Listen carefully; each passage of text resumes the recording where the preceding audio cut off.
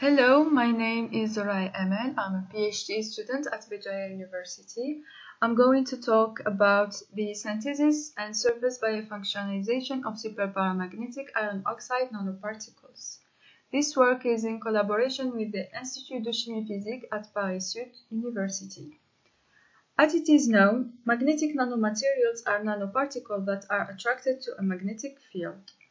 At the nanoscale, they possess incredible properties, which could see potential use in many fields. Iron oxide nanoparticles in specific are widely used in nanomedicine. To synthesize a large amount of nanoparticles, we have chosen an easy and cheap method, which is coprecipitation. In the presence of a stabilizing agent, it is polyacrylic acid. The purpose of our work is to focus on the synthesis, characterization, and functionalization of iron oxide magnetic nanoparticles with rhodamine B. We also investigate the effect of two different uh, amounts of polyacrylic acid, 0.5 and 1 gram. Let's move on now to the results. We start by the X-ray analysis. For the two amounts of polyacrylic acid, the patterns show diffraction peaks that refer to iron oxide nanoparticles. Our nanoparticles are in the cubic phase, with a crystallite size below 50 nanometers. Then we have the infrared analysis. The two spectra show different peaks that correspond to the iron-oxygen bond, nitrogen-hydrogen and oxygen-hydrogen bonds specific to the iron oxide nanoparticles. Now let's have a look at the TEM images. As you can see, for the two amounts of polyacrylic acid, the nanoparticles are homogeneous and spherical in shape, with a narrow size. This relates to what I was saying earlier. It confirms the results obtained by the X-ray diffraction.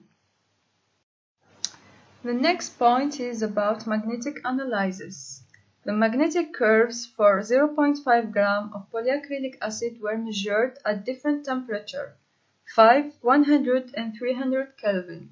At ambient temperature, the magnetic nanoparticles show low remanence and coercive force. Those results confirm their superparamagnetic behavior. To confirm that our nanoparticles are functionalized with rhodamine B, we analyzed the two samples with fluorescence spectroscopy. From the figure, the characteristic peak of rhodamine B appears on the spectrum at 568 nanometers. This peak signifies that rhodamine B was absorbed on the surface. In conclusion, let me sum up my main points. So, Polyacrylic acid modified iron oxide nanoparticles were successfully prepared by coprecipitation. X-ray diffraction and TEM investigations confirmed the formation, the formation of very small iron oxide nanoparticles in the cubic phase.